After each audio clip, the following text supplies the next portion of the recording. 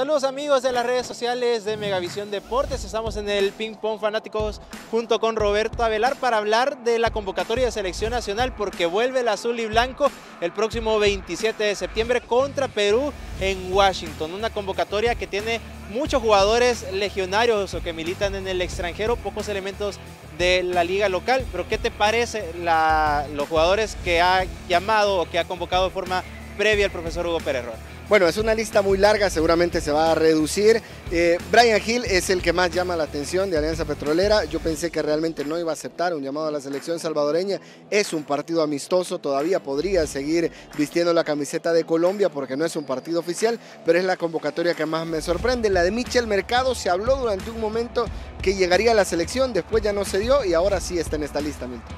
Sí, sobre todo lo del jugador de Alianza que ya se hablaba, o él mismo había manifestado hace algunos meses en conferencia de prensa que ya no había interés por parte de la Federación Salvadoreña de Fútbol de poder contar con sus servicios o poder contar con él con la selección nacional. Al final sí entra en esta preconvocatoria lo de los tres hermanos Gil, es muy llamativo sobre todo por lo de Brian, sorprendió la convocatoria de Zabaleta, de Eric Zabaleta y también de Alex Roldán, aunque lo de Roldán ya se ha quedado descartado, se ha quedado en el tintero, no va a estar en el partido, tiene compromiso con el Seattle Sonder, pero sí Eric Zabaleta, eso sí, va a llegar descanchado porque juega muy poco en el Galaxy. Va a ser muy importante también, Milton, que la comisión de regularización aprobó que haya un campamento antes del partido, que va a ser el 27 de septiembre allá en Washington, va a servir para que traten de llegar a algún nivel, y no voy a decir al máximo nivel, porque realmente con la competencia parar en El Salvador eso es muy complicado y con jugadores que en sus equipos en el extranjero tienen pocos minutos también va a ser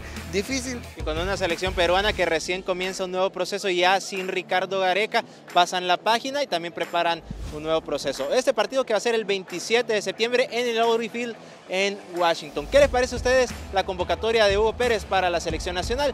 Leemos sus comentarios acá debajo en las redes sociales.